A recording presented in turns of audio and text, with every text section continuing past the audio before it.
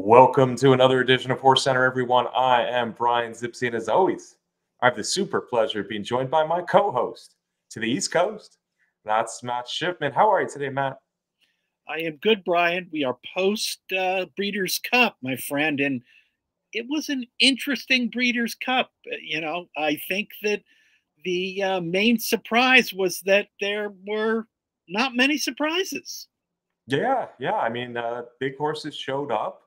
Uh, you know, it was it was easy to pick a lot of winners, I think, in this Breeders' Cup, but the key was getting a, a few long shots sprinkled in, and uh, that was uh, that was easier said than done. Without further ado, Matt, what we're going to do today is we're going to go over all 14 races. We're going to recap the Breeders' Cup. We're going to discuss a little bit, and we're going to start with the Classic. And for my money, Matt, the best dirt horse in America won the Classic White Abarrio, Rick Dutrow Jr., Irad Ortiz Jr. Yeah, absolutely. And I agree with what uh, Rick Dutrow said off after the race. He said that he thought his horse looked like a winner every step of the way. And I completely agree with that. Yeah, yeah. Both of us had him as the top pick, so it's no surprise. I actually had him at the top pick before Arcangelo and Geaux Rocket Ride. I thought if he ran a race similar to the Whitney, he would win this. I think he did. I thought he looked like a winner the whole way. He just looks like a more focused horse since moving to the barn of Rick Dutrow Jr. This is a nice horse as its rear old. He won the Holy Bull in the Florida Derby uh, a year and a half ago or more, don't forget. But then he kind of sputtered uh, with Saffie Joseph, Saffie Joseph Jr. Uh, for a while. Came into Rick Dutrow's barn this spring, ran a pretty good race in the Met Mile, but his Whitney and his Breeders' Cup Classic proved he's the best, at least distance dirt horse in the country. And and again, I would argue that he's the best. Retribution for Rick Dutrow Jr. Say what you want about Babe, Rick Dutrow Jr., but uh, after a 10 year suspension, he came back and he he got a horse and he and he won the Breeders' Cup Classic for the second time. For the second time, absolutely. And uh, uh, I think the uh, the connections are pretty much set on White Abarrio returning last year. I, I saw that they are planning a four race campaign next year with the Saudi Cup, the Dubai World Cup, and then the same path as last year, the Whitney and the Classic. Well, those are four big races, but it also means we won't see them until August of 2024. Uh, White Abarrio, a deserving winner of the Breeders' Cup Classic. Derma Sotogake, I, I wasn't going to bet a horse coming out of his first race since the Kentucky Derby, but he ran big to be second. Proxy wasn't a surprise. We I think we both probably had him uh, filling out the exotics, and he he finished well. But uh, this was White Abarrio, I think, a clear winner. Yeah, certainly, uh, and and I guess you know you expect Proxy to show up. He showed up. I don't know if too many others showed up in the race though. Yeah, there were some disappointments for sure. Uh, but uh, White Abarrio, yeah, let's see. Uh, he could carry him to Horse of the Year, Matt. But I'm I'm going to show you the next uh, winner here on our 14 races. And come on, there. It's not switching for me. Let's get that. There you go. There it is. All right, the distaff idiomatic. And let's start our horse of the year before we talk about the distaff a little bit. Let's talk uh, talk about our horse of the year discussion. I really do think uh, up to the mark. By the way, had an excellent year on the grass and ran an excellent race in the Breeders' Cup Turf. He could be the best horse in America. But I think the horse of the year, Matt, is down to three horses uh, no offense to Elite Power, who you could put in as the fourth horse, but I, I don't think the sprinter's going to get it. So I think it's between White Abarrio, Idiomatic, and uh, Cody's Wish. And Idiomatic, if you if you just go by the record, eight of nine with a second. The second was at one turn. Uh, a bunch of great graded stakes in a row. The last three being grade one. Um, maybe not overly impressive in the distaff, but she she got it done. Yeah, absolutely. Idiomatic deserves to uh, be a finalist in the Horse of the Year voting. Um, Uh, she won the biggest race of the year for fillies and mares in the distaff. She beat a really good field in the distaff. Um, but, you know, we've got two horses in the male divisions, which tend to be the ones that win, that also had pretty good years. Yeah, it's it's hard for me to uh, to make a choice right now between the three. I think White Abarrio is the best dirt horse. I said it, but the Whitney and the Breeders' Cup Classic, other than an allowance win, that's all he's got. Idiomatic, eight, as I said, eight and nine, terrific year. Uh, she really got good the second half of the year, and then Cody's Wish uh, split decisions with White Abarrio, but had a better overall record this year. Although I think White Barrio more impressive. As for the distaff, Idiomatic was game. Clairiere had a shot at her, randomized, would not go away. Uh, uh, then the long shot on the outside uh, came running, but Idiomatic would not let anybody by. Uh, a, a, crowning win for her in a in a great season.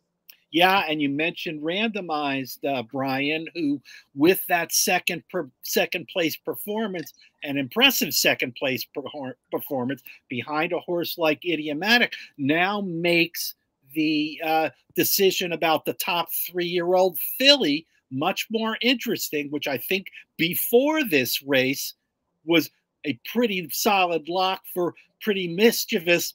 I don't know if that's true any longer. Yeah, it might not be true. I, I would still side with Pretty Mischievous for her entire year, but the, you got the Alabama, you got the Beldame, you got a very good second in the Breeders' Cup Distaff for randomized for trainer Chad Brown. By the way, idiomatic Curlin Curlin just keeps getting it done. Uh, uh, our top pick in the race was a different Curlin. Uh, Clairiere, once again, Matt, close, but no cigar in the Breeders' Cup Distaff. Yeah, absolutely, Brian. Uh, um, as the best horse won this race. I'm not sure if uh, Clairiere had gotten a clean trip. She had to hesitate behind traffic a little bit. Uh, along the rail down the stretch if it would have made any difference. Yeah, this is the first time in her career where I finally am ready to say, well, maybe she is better at a mile 16th than a mile and eighth. But I've never seen a horse in the Breeders' Cup that come close uh, three straight years without winning one, as Clairiere did in the distaff. Idiomatic, a deserving winner. Let's move on to the next one, Matt. I think we're going to go turf. Popped up right away this time. Auguste Rodin, I had him as my top pick earlier. I went with a longer shot later. But Auguste Rodin uh, was best in this race. Aidan O'Brien, big Breeders' Cup, as expected. Ryan Moore, one of the top European jockeys for, for years now. This is a really good three year old winning his fourth group grade one race of the year absolutely is Brian, and, and he deserved the, that victory the way that he ran. Um, I had been a supporter of Mostahdaf. Um, uh, I think that one left his race uh, uh, before they started. He was uh, uh, uh, really revved up and fractious in the paddock, warming up before the gate. So I, I think he left his race before it started. Yeah, I, am going to say the best horse won, Auguste Rodin, especially at that distance at 12 furlongs. And I'm going to say that the second place finisher up to the mark was really good down the stretch. He he fought all the way to the wire, up to the mark. Uh, I think he did enough to be our male turf champion. I don't think Auguste Rodin or Master of the Seas can take that championship away from up to the mark as as well as up to the mark ran on Saturday. Yeah, I agree with that. And, and Auguste Rodin, another one of the favorites that won uh, and the Breeders' Cup over the weekend, Brian. It was nine, nine favorites out of 14 races. And, and even the races that weren't won by favorites, two of them were three to one, a seven to one, a nine to one. The longest shot was 16 to one. And, and so even even the non-favorites were not big bombs like we've seen in the Breeders' Cup in other years.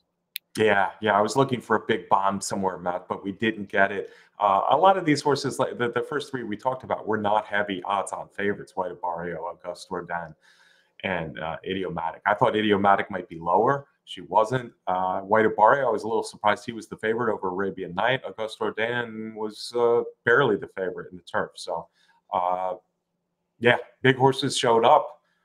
Uh, good fields, good finishes. Let's move on. The next one on our list. Well, here's here's a clear favorite. Uh, Elite Power. I, I know some people thought he might lose this after losing his last race, but uh, I, I just think this race set up for him well. We both thought it would. Uh, they ran reasonable fractions in the Breeders' Cup Sprint, and you could just see Elite Power winding up and rolling down the lane. Absolutely. Uh, for Bill Mott and Irad Ortiz Jr., both of them won three races on the Breeders' Cup weekend. Uh, uh, I don't know. I think I mentioned it a couple shows ago that, you know, Bill Mott uh, might become a big contender for the Trainer of the Year award. And, and I think he did that in uh, in the Breeders' Cup with these three wins. He's got an uncanny way, and of course, going back to uh, the ultimate uh, big uh, Bill Mott horse that won a lot of races in a row uh, with Cigar. He, he Bill Mott has has quite a knack of horses that can put together a lot of races and and with elite power and and Cody's wish you you got a couple of horses that had streaks and except for a loss here and there could have big numbers in their streaks.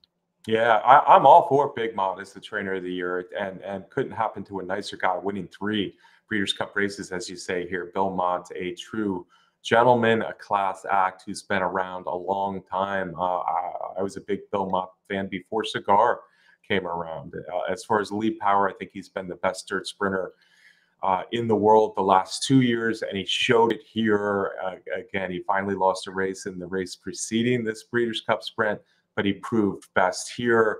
He got his second straight Breeders' Cup win, Matt, and that's going to start a little trend for us now where we can talk about repeat winners four horses came to the Breeders' Cup with a chance to win a second straight Breeders' Cup, and three of the four did it.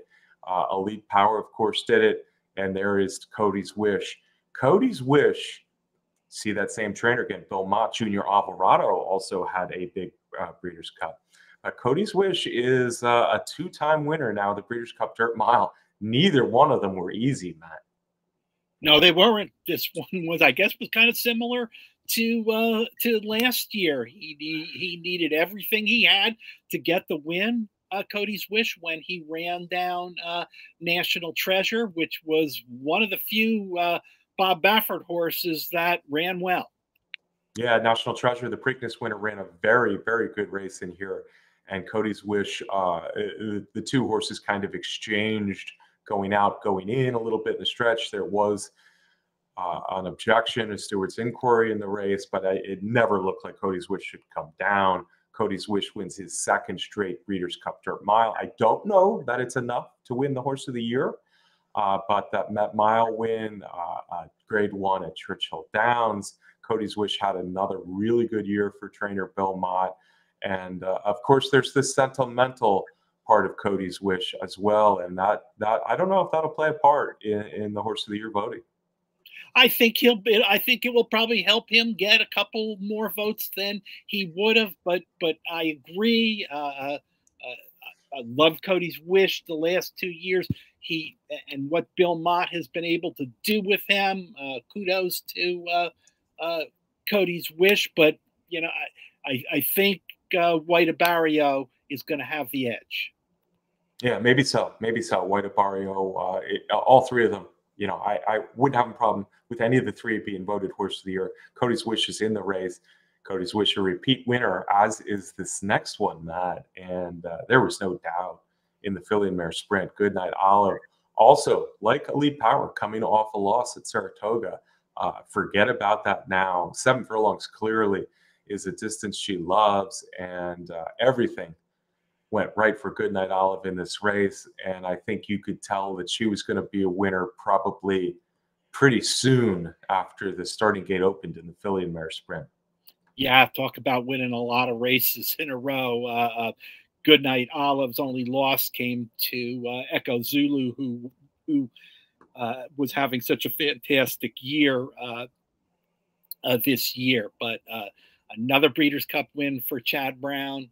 Uh, and Irad here, uh, Chad had two more uh, Breeders' Cup victories uh, uh, this year, and he has piled up an awful, awful lot of those uh, Breeders' Cup wins in a short period of time.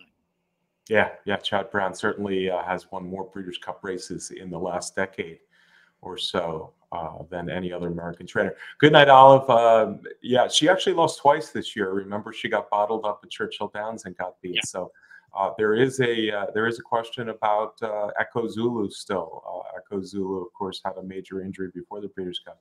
Whether she could be the filly and mare female sprint champion, but Good night, Olive. With this performance might have surpassed uh, Echo Zulu, who beat her at Saratoga in the ballerina.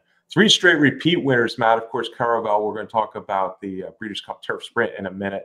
Caravel was the only one coming back that didn't uh, get the job done, but uh, three straight repeat wins. That's not easy. Elite Power, Cody's Wish, and Good Night Olive. Next on our list, Matt, is the Filly and Mare Turf people will argue with me, but uh, from, from in my opinion, this was the best Breeders' Cup performance out of anybody. Um, not a surprise. I mean, she's been a great mare. She's been a champion in Europe, an absolutely uh, uh, spectacular female miler. But she had never been farther, this daughter of Frankel, than one mile in 12 career races. All of a sudden, they jump her up to a mile and a quarter and horses don't come from ninth at the stretch call and win mile and a quarter races, Matt. It just doesn't happen unless there's a complete pace collapse. There wasn't a complete complete uh, pace collapse in this one. Warm Heart was running really well the last quarter mile, and Inspiral still inhaled her down the stretch. John Gosden, we've seen him for as long as they've been running the Breeders' Cup, and Frankie Dettori, it seems like almost as long. Yeah, absolutely. Uh, uh, and as you mentioned, Inspiral uh, has has been a very good horse for a long time. She's a she's a two-time champion in Europe as a two-year-old and as a three-year-old. Has nine career wins, and six of them are in Group One races. Uh, uh, uh, that that's something else. John Gosden's sixth Breeders' Cup win, Frankie Dettori's 15th Breeders' Cup win. I guess if you want to be generous, you could say that Dettori was the only California based jockey to win a Breeders' Cup race. If you want to call Frankie at this point a California based rider. I, I, didn't even think of that, Matt. Yeah, I guess you're right. Uh, he's he's back in California now, but uh, the the Italian, I, I, certainly don't think of him as a California rider, but California based, at least for now. Yeah, Frankie Dettori he did his Dettori leap there in the winner's circle, and I was just watching replays of this uh, just overwhelming stretch run. And uh, good news, like uh, White Abarrio Inspiral will be back next year. And Gosden says, yeah, why not? Uh, she's going good. We'll bring her back to Del Mar for the Breeders' Cup, and we'll see what race that's in next year as well. But uh, for my money, the best of all the Breeders' Cup horses. Next, Matt, we're getting there. And, and, people might say, what about Master the Seas, Brian? Master the Seas had a similar type of close. I, I just think the difference between running down Warm Heart out a mile and a quarter for me as fast as they were running was me even more impressive. But Master the Seas coming from a far outside post and also flying late to get up and win over another good European. Yep, and and uh, another great European trainer in Charlie Appleby, picked up uh, his 10th Breeders' Cup. And Brian, I think it was his third win in the mile in a row for uh, for Charlie Appleby. I tell you what, I learned one thing, and and come this time next year, Brian, I want you to make sure you remind me of this. Uh, uh I I did not use Master of Seas. I didn't like that far outside post, but you know what, Brian? Master of Seas is not the only horse to have won from the far outside uh, in the mile in past years. There have been three or four of them. Yeah, now I, I like a mile at Santa Anita. I don't like that outside post, and and I think he did have to overcome a little disadvantage to do it. So Master of the Seas, who once uh, lost the Guineas over there, the big uh, uh, uh classic uh, in, in England, uh, by a nose. Uh, now he's got his big one. Uh, really, three good very good North American efforts in the row. And Appleby and Buick, we see them year after year rating big American turf races. Matt, the final race we're going to talk about on Saturday is the Breeders' Cup Turf Sprint. And, and this was a winner who had some odds. But unfortunately, I didn't like him. In fact, Matt, I'm going to go as far as to say I didn't think this horse had the balls to win the Breeders' Cup. Oh, I apologize, everyone. Nobals. No balls. Nobals. No balls. Won the Breeders' Cup Turf Sprint, and he uh, he had some odds.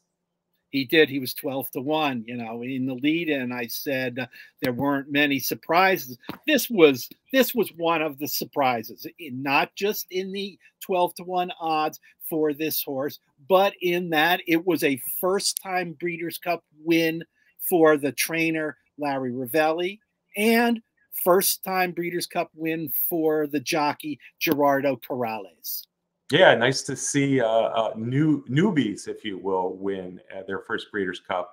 Uh, wide open race. He, he, was not in my top eight, honestly, in the race, but I am very happy for Larry Rivelli, Matt. And Larry Rivelli is, of course, a trainer I've known for a while uh, uh, up there in the Chicagoland area. My favorite horse you ready for this, Matt? My favorite horse of 2023 was trained by Larry Rivelli. And of course, we didn't get to see Two Phil's basically the second half of the year. So I'm happy for Larry Rivelli getting a Breeders' Cup win with Nobals. All right, Matt, let's go back to Friday for the two year olds. Fierceness. Uh, I, I, listed him as a contender, but I, I couldn't bet him. I couldn't bet him after that you know, he, he got off to not a good start. It was a sloppy track in the Champagne, and he just ran awful. And that was only his second career race. I couldn't bet him in this Breeders' Cup Juvenile, but fierceness, he was much the best on Friday. Wow, he certainly was, Brian. And I know in our uh, picks show, we talked about that. I talked about the fact that, you know, the Champagne Stakes was starting to look like a race that horses were coming out running from. And regrettably, that led me to Timberlake uh, instead of fierceness, but it was fierceness. Wow, what a performance! One of the best performances in a juvenile uh, uh, in many, many years. Uh, um, it was a reunion of sorts between trainer Todd Pletcher, owner, breeder, Mike Repole and for Johnny V. John Velazquez. They were together uh, when Uncle Mo uh, won the Breeders' Cup for uh, for all three of them. And Fierceness was uh, a homebred for Mike Repole. Uh, the mare he bred. The mare was out of Stay Thirsty, one of Repole's uh, top horses. And I guess you got to give credit to the connections to Todd for sticking with uh, uh, fierceness after that stinky performance in the Champagne. Yeah, and let's not forget, Matt, Fierceness was uh, what we said was the most impressive maiden winner of all when he won at Saratoga uh, during the summer. That uh, debut performance was huge for Fierceness, and, and, here he is showing up in a big way, stalking the pace, taking over, and just I was looking for other horses. Locked his his stablemate came running and just missed second, in fact, but Fierceness was just way out in front.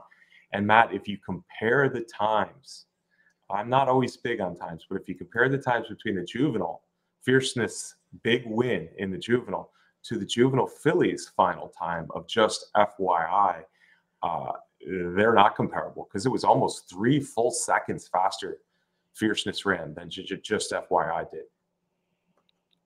Yes, absolutely. There were a lot of superlatives that you could use to describe that performance of fierceness.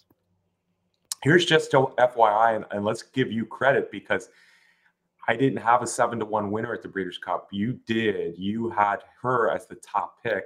Uh, unfortunately, Beholder's daughter Tamara, the favorite, uh, was was injured in the race or injured during the race and backed out. But just FYI, deserving winner. She looked good the whole way, and uh, she was able to uh, be resolute late. Other fillies were coming to her, but just FYI, undefeated. Three different tracks, two grade ones. Bill Mott, Junior Alvarado again. Yep, more Bill Mott Junior uh, Alvarado showing, uh, uh, you know, Bill Mott's versatility uh, uh with uh, uh, with two year olds, older horses, etc. Junior Alvarado, second Breeders' Cup win in a year, and the third of his career. Yeah, yeah, nice uh, Breeders' Cup for Junior Alvarado, uh, another rider that we've liked for a long time. Matt, just FYI, as I said, undefeated. She's also a daughter of Justify, and Justify had a big Friday. Of course, we're going to talk about a little bit more. Oh, by the way, Tamara's injury is not uh, uh, uh supposed to be too severe, and we'll expect her back next year. But just FYI, ran her way like fierceness to an Eclipse Award here at the Breeders' Cup. Let's go to the turf on Friday, Matt. We got the juvenile turf next. Uh, you know, I knew Aidan O'Brien was coming with a strong hand. This was not a horse that uh, looked like one of his strongest runners. However, when the stablemate was scratched, uh, just unquestionable became an obvious horse, uh, an obvious contender, that is, in the juvenile turf. And he got the job done for, again, Aidan O'Brien, Ryan Moore. Yep. And, and the uh, the certainly the betting public got it right because this is a was another one of those favorites. Yeah, unquestionable was one out of five only in Europe, but he had been running uh, good races over there. Uh, not not one of the monsters though that we've seen come over uh, a few times. Not uh, doesn't impress me as much as Modern Games, uh, for instance, from a couple years ago. But unquestionable was the best in the Breeders' Cup Juvenile Turf, as was there's another daughter of Justify winning the Breeders' Cup, Matt. Hard to justify, and another undefeated two year old filly out of Justify winning the Breeders' Cup. Yes, absolutely, Brian. And another another victory for Chad Brown uh, in this juvenile fillies turf race. I think that Chad has won this race uh, six times. It was not uh, uh, it was not Irad riding here. It was Flavien Prat, and uh, uh, uh, uh you know another another one. Chad is is hard to overlook in this race. Yeah, like just what just FYI, hard to justify is one of three different turf courses now: uh, Saratoga, Aqueduct, and now uh, now out at Santa Anita, and I, I, thought she was best. In fact, I would I would venture my opinion would be that she was more impressive to me winning this than actually just FYI in the in the Breeders' Cup Juvenile Fillies. Maybe I'm splitting hairs, but uh, hard to justify was good here in a good field, and uh, she was best. So good for the uh, sire Justify. I believe Justify is a Coolmore, isn't he, Matt? We should mention that. Uh, I I think yeah, that's correct. Yes. The Triple Crown winner, the undefeated Triple Crown winner, the only Triple Crown winner ever to retire undefeated. Seattle Slew also was an undefeated Triple Crown winner, but he didn't retire undefeated. Justified did.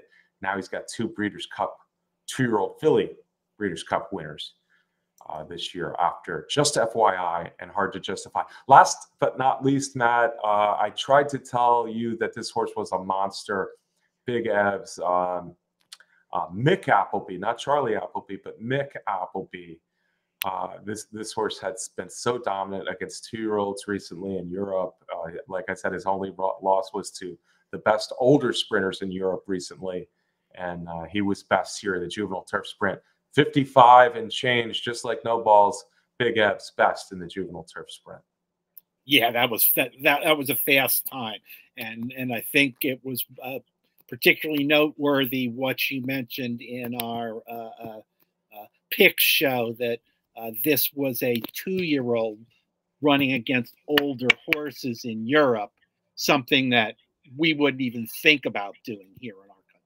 Yeah, big big Evs, right? We wouldn't think about doing it over here. And Big Evs is uh, Golden Pal esque, if you will. Uh, he, he he's just got a big time engine to run fast early. I'm sure we'll see more of Big Evs uh, in the coming years for trainer Mick Appleby. All right, Matt, that's 14 Breeders' Cup races recapped. Uh, came out a little behind cash tickets. They were small tickets, unfortunately. Came out a little behind. Uh, I hope our some of our, or I hope a lot of our audience did did even better. Uh, chalky, I always like some long shots mixed in there, but still an enjoyable Breeders' Cup. Lots of good finishes, and and once again, lots of big horses showing up. Let me get a parting shot from you before we go.